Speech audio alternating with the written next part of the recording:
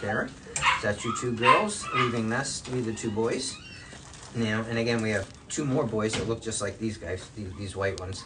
So, Poodle and Bichon. Mama was a pure Bichon. Daddy was a pure Poodle. He was actually red in color. And that's where we're getting a lot of this uh, markings. This is not red. This is actually more of a cream. But that's where we're getting some of this color pattern from. Now, Poodle Bichon, these guys are really good as far as dog-specific allergies, if that's what you have.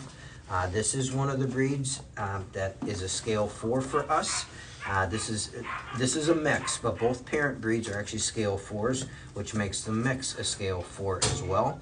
Scale four means if you have dog-specific allergies, your chances of reacting to these dogs is pretty limited. Um, you know, everybody's allergies are unique, and every dog is unique. So you know, we don't want to say that you know everybody's going to be perfect, but uh, for the most part, um, you know, and, and, we have a way to help you uh, see if you're going to react to these dogs, you know, and just call the store, and we will talk to you about that. But um, again, those of you coming in telling us, you know, people will come in all the time and say, hey, you know, I know I have dog allergies. I need something hypoallergenic.